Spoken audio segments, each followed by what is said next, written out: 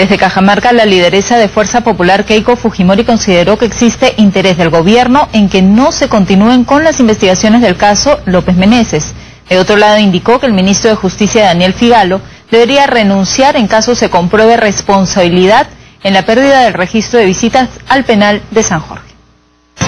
Y esta denuncia, eh, en vez de ver una intención por parte de este gobierno de que se esclarezca, vemos pues que hay la intención de eh, empañar, de tratar de esconder ¿no? Eh, la información.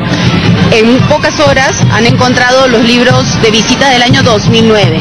Entonces, si se comprobara que el ministro ha estado también encubriendo, porque alguien ha estado mintiendo, si es que él sabía que eso era una mentira, yo le pediría que dé un paso al costado. Yo, yo creo tiene que renunciar si es que él eh, es parte de todas estas mentiras.